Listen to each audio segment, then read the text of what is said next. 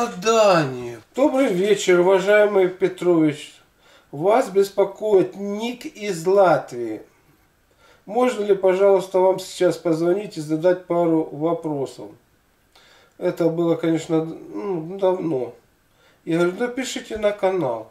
Благодарю за ответ. Простите, но я не знаю адрес. Просто я был бы очень вам благодарен, если бы мог закончить наш последний разговор по поводу моей 31-дневной голодовки. Убедительно прошу вас уделить мне несколько минут на разговор. Но опять-таки, вот, вот канал. Зачем канал? И сейчас отдельная плейлист про голодание, чтобы там все рассказать. То есть человек вот как-то не, не это. После своей месячной голодовки, возможно, неправильно выходя из нее, я заполучил панкреатит. Сейчас намереваюсь поголодать опять. И желаю узнать у вас, у человека, которому всецело доверяю, можно ли мне это делать. Если да, то как долго вы посоветуете голодать с уважением и благодарностью Ник. Вот, вот это вот говорит о том, что человек не может голодать.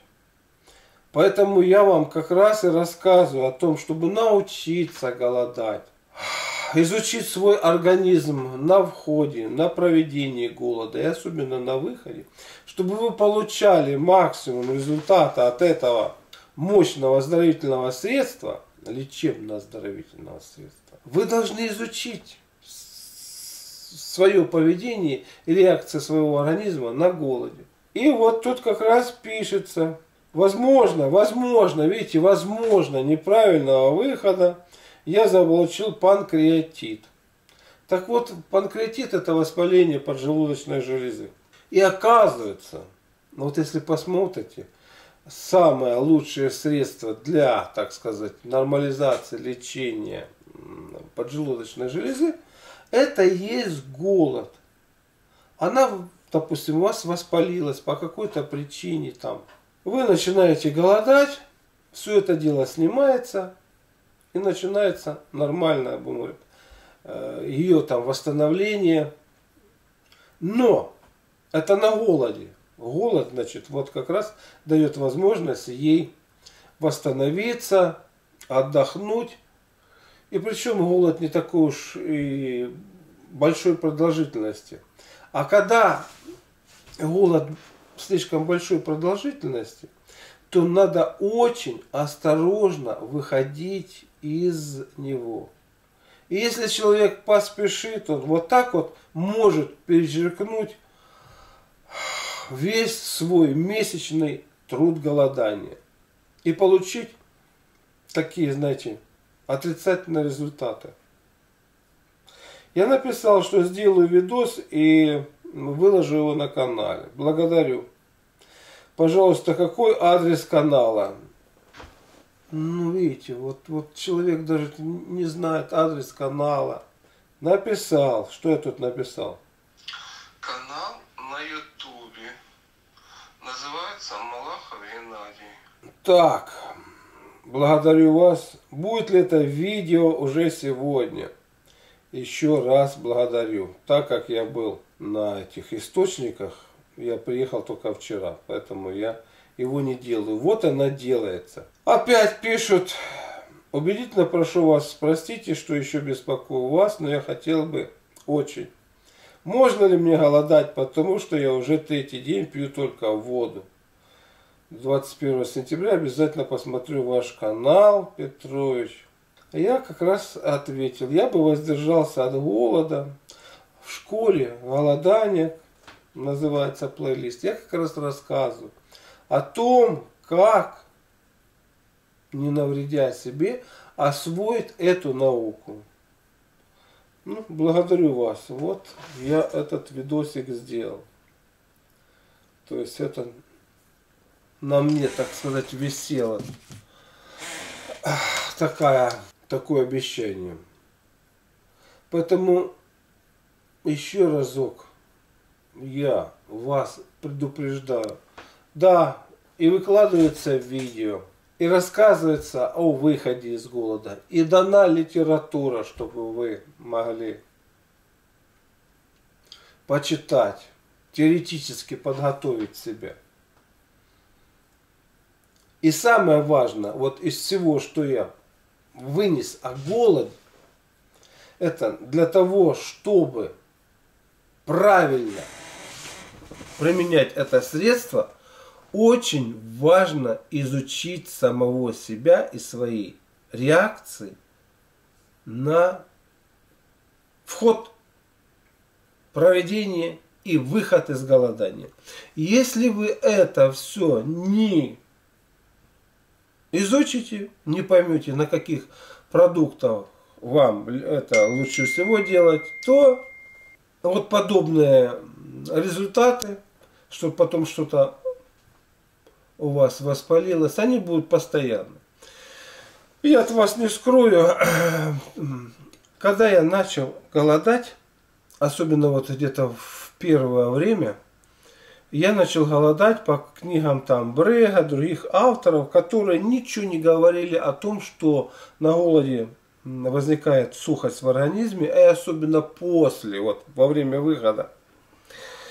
Сухость, и у меня после там трех-семи дней голода постоянно обострялся геморрой. Вот постоянно. И у меня был такой вопрос, ну что ж такое?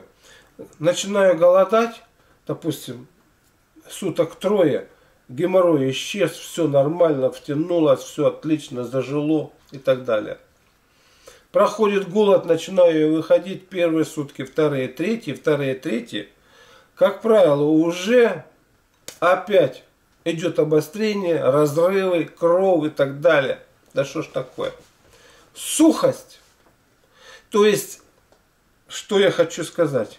Я вам даю те знания, через которые я сам прошел. Их, как правило, особо нигде нету, что там сухость возникает, что там в зависимости от индивидуальной конституции там надо голодать. То есть до всего этого мне пришлось дойти самому.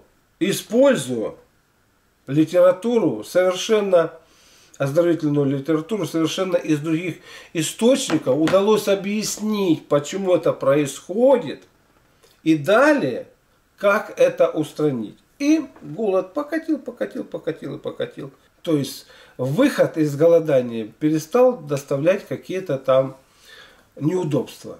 Как только там вот вы выходите из голода, буквально таки, на второй день уже желательно вот такой вот на ночь э, свечу из сливочного масла вставлять. Ну, об этом я все там рассказывал, что и как. Снимается сухость из ампулы прямой кишки. Ничего там не рвется и так далее.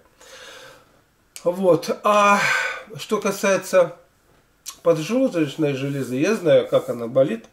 Я уже не раз рассказывал, что я в Ростове, когда заезжал туда, я кушал в елках-палках. Там телега, продукты все хорошие.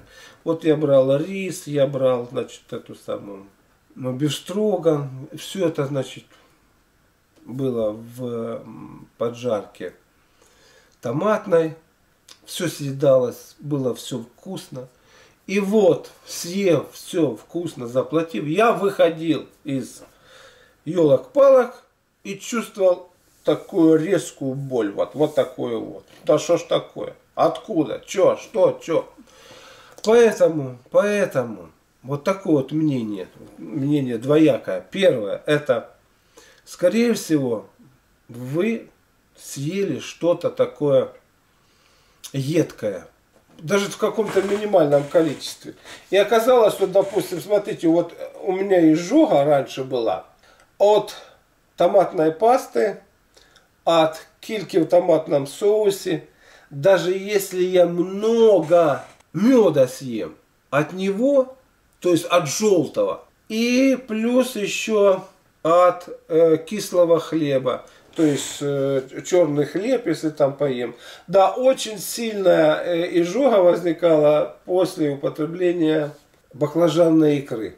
Как только я от всего этого отказался, Никаких изжог, ничего нету. Вся вот эта реклама, ой, изжога, ой, что-то там применять и прочее, прочее. Да все это исчезает из-за того, что вы просто слишком много вот этой вот, не хочу сказать, что кислоты, а вот, вот кислого вкуса, который как раз и перевозбуждает пищеварительные органы. В некоторых случаях, да, в некоторых случаях алкоголь особенно, тоже на поджелудочную. Он ее там и сушит, и остренький. То есть э, человек для себя определяет, вот, что он там съел. Он съел там, допустим, то-то, то-то, то-то, грубо говоря, даже, может быть, горчицу там съел. Вот, и после этого у него там возникает либо же изжога, и что более хуже, это э, воспаление э, поджелудочной железы. Все. Эти продукты убираете, и все нормально. Но не идут они вам потому что действуют на, на вас вот таким вот образом. Либо их надо в небольшом количестве. И плюс еще второе, второе, что может быть, это человек чрезмерно сосредоточен на себе. Когда на своих проблемах, еще на, на чем-то. Если человек чрезмерно э, сосредоточен на себе и своих проблемах, сосредоточение, это, как правило, идет вот здесь вот энергетика в районе центра тела. В районе центра тела у нас желудок, у нас поджелудочная, у нас э, там печенка и желчный пузырь, двенадцатиперстная кишка. Это как раз вот то вот место, которое от чрезмерного скопления вот этих вот всех умственных наших переживаний, причем смотря как, как, какие переживания. Если радости, это одно. А если вот какие-то такие, знаете, вот неуверенно что ли, вот, ну какие-то заботы и так далее, вот, вот это как раз начинает разрушать органы, которые здесь расположены, в частности, э, поджелудочную железу. Поэтому, с одной стороны, с одной стороны, смотрите, необходимо научиться выходить из голода. И запомните, первое средство от воспаления поджелудочной железы – это голод. Вы даете ей отдых и возможность восстановиться. Поэтому на голоде никаких повреждений поджелудочной железы не может быть. А вот после, после, пожалуйста, как угодно. Значит, научитесь выходить. Далее заметьте, на какие в, в обычной жизни, на какие продукты у вас вот организм так реагирует. Там изжогой, ну и даже вот такими вот болями. И, наконец-таки, после каких а, эмоциональных там переживаний вы чувствуете, что у вас с пищеварением возникают проблемы.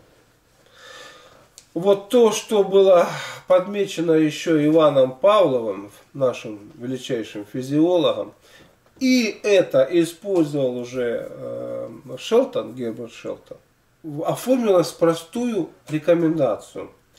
После каких-то, знаете, неприятных разговоров, переживаний, волнений или еще что-то, не принимайте еду. Потому что органы пищеварения не могут полноценно вот обработать пищу, сработать так, как это должно быть. Вот, и в результате вы получите какое-то вот какое-то недомогание, а потом уже и заболевание. Все начинается с малого. Человек на это все, знаете, не обращает внимания. И это все начинает перерождаться в более такие серьезные проблемы и простого, вот что там рекомендуют с экранов телевизора, так заболел там желудочек, вот прими таблеточку, то все пятое, десятое, то есть человек как был болваном, он так и остается. Да, это на время там снимает, не возражаю. Но если все это дальше продолжается, то этого становится мало. Надо дозу увеличивать. Это уже идет нагрузка на органы выделения, то есть лекарство, которое подействовало, оно изменило уже внутреннюю среду нашего организма. Оно должно выводиться почками. Насколько почки могут и, и печени его там нормально расщепить и вывести, это уже вопрос, который не касается. Не болит, не болит, ну и все. А что потом периодически опять возникает, а вот это уж не наша забота. Это уже там дальше будем. Вот что я хотел э, ответить Нику на его вопрос по голоданию. И почему так получается.